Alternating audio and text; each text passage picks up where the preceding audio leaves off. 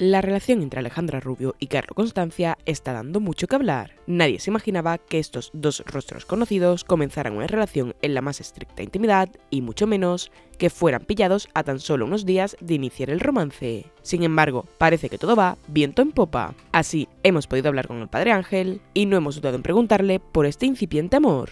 Pues bendito sea Dios, ¿no? Es decir, todos los amores se pueden bendecir y eso lo bendecimos sin duda alguna.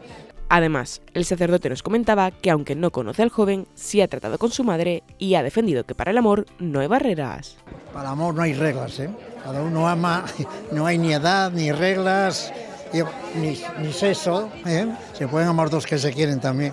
Por otro lado, se alegró de que Isabel Pantoja vaya a ser recibida por el Papa Francisco y confía en que su visita le sirva para reconciliarse con sus hijos. Pues eso es una buena noticia, seguro que la va a bendecir eh, y seguro que le, va a encantar a ella, porque Papa Francisco eh, da, da, paz.